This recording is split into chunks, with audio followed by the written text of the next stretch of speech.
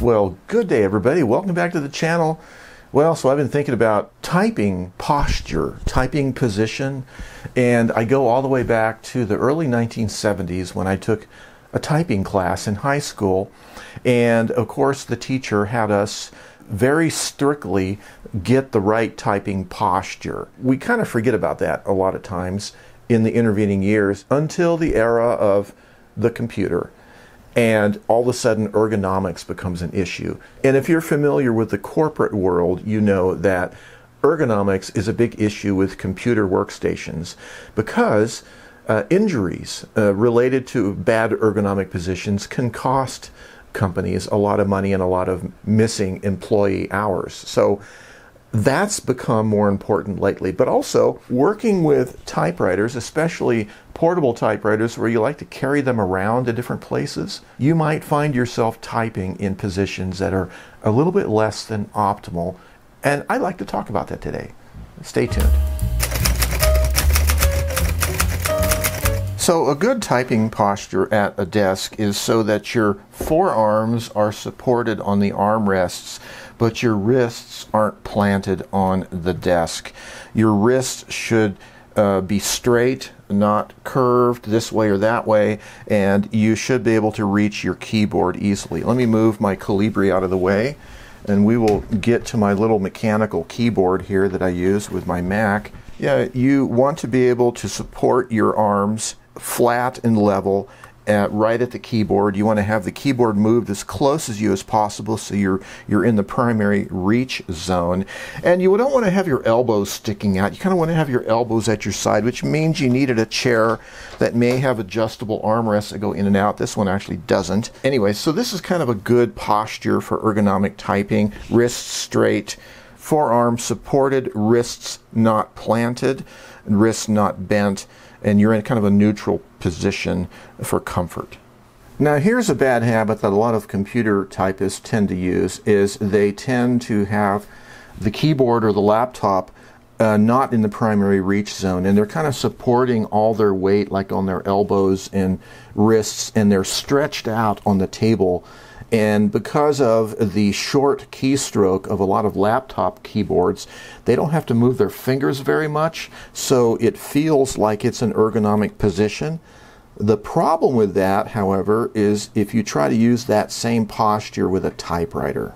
And recently I had a typewriter over at a friend of mine's house, and he uh, is used to doing that long, stretched out laptop kind of posture. And what he did when he tried my manual typewriter is he kind of did the same thing. He pushed the typewriter away from the front edge of the desk and kind of had his wrists planted and arched up like this. See?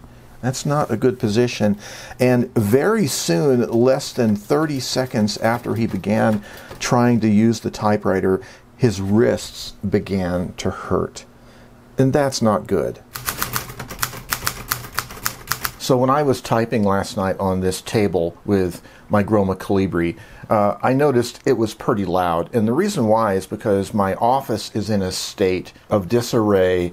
I'm currently in the process of remodeling the office. So I have this temporary folding table, this plastic folding table in the corner of the room is my current setup. And it is kind of a bouncy, uh, loud plastic table, and it's not conducive to late night typing. So I was typing late last night.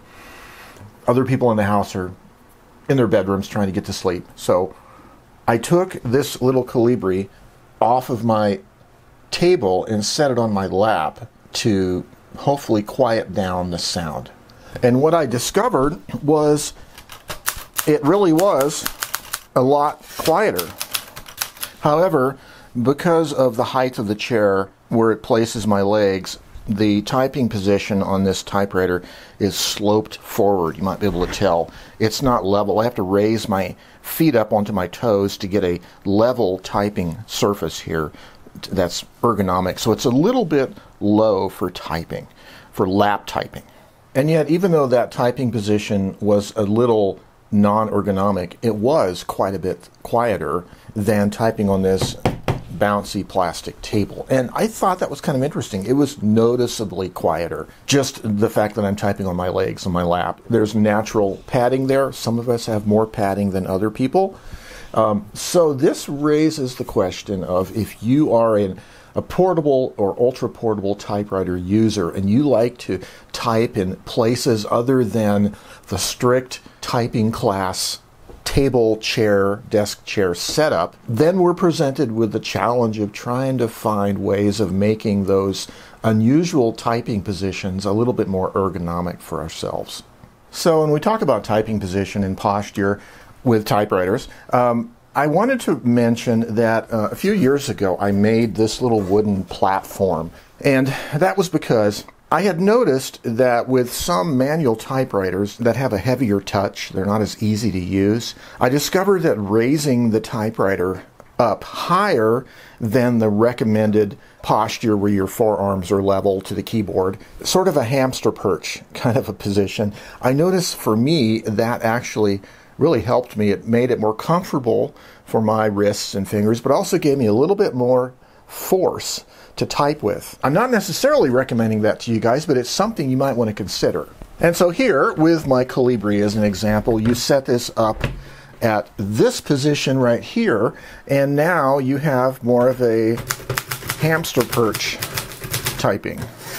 And it is quite comfortable, actually. I like it. It's certainly better for your wrists than bending them the other way.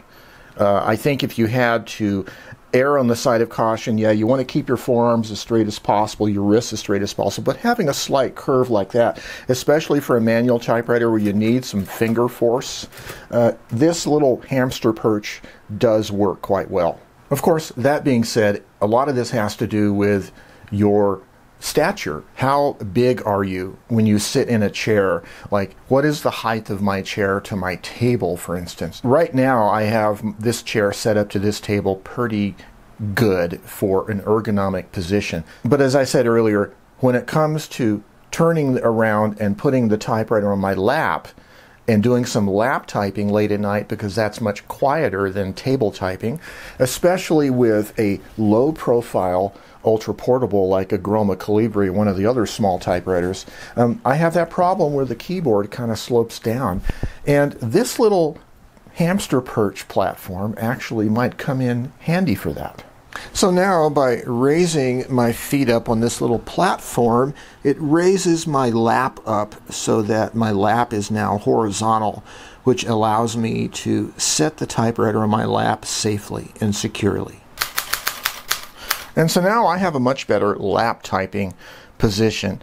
Uh, it really does dampen the sound of typing late at night. However, you might notice the typewriter still does wobble and rock back and forth a little bit, and we do have a fix for that as well.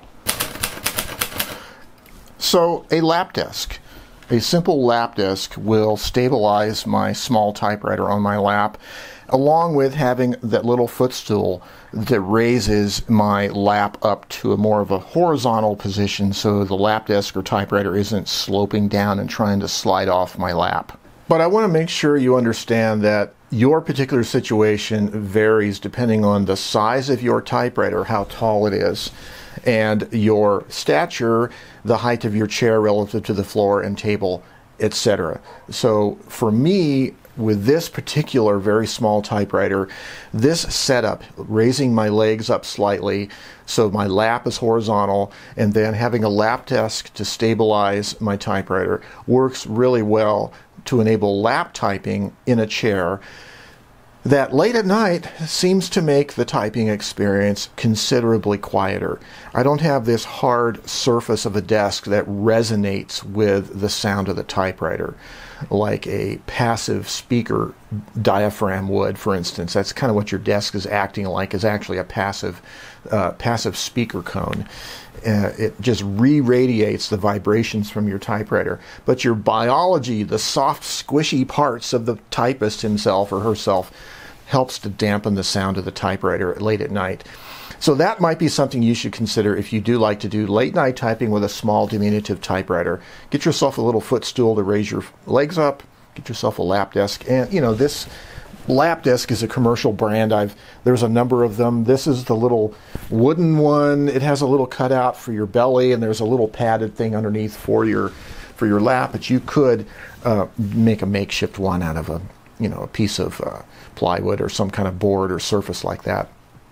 Well, this is just a little bit about ergonomic positions with typewriters and how to deal with late night typing and how to quiet down your typing experience by getting the typewriter off of that flimsy, in my case, flimsy, vibrating, resonant desk onto your lap. I think it's fun. Lap typing is fun, and also, if you like to type outside, you don't always necessarily have a table out there. You might have a table in your patio, but you might want to set a chair up out on the lawn or some nice place under a tree, and you may not have a table set up there.